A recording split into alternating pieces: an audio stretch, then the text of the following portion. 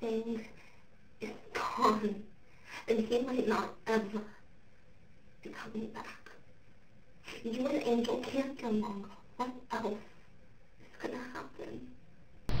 Nothing else is going to happen. I promise. Seems to me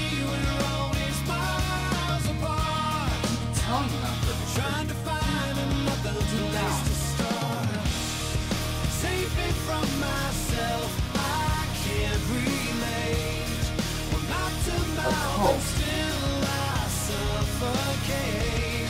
well, they sound like a bunch of tree-hugging nut jobs.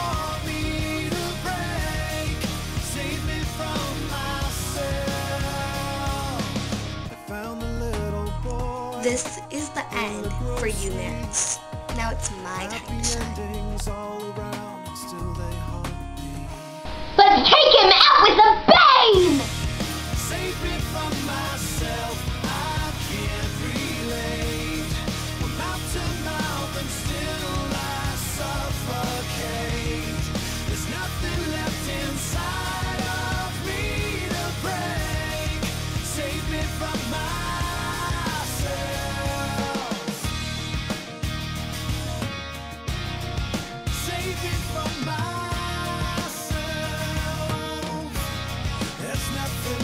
Inside me. There's nothing left.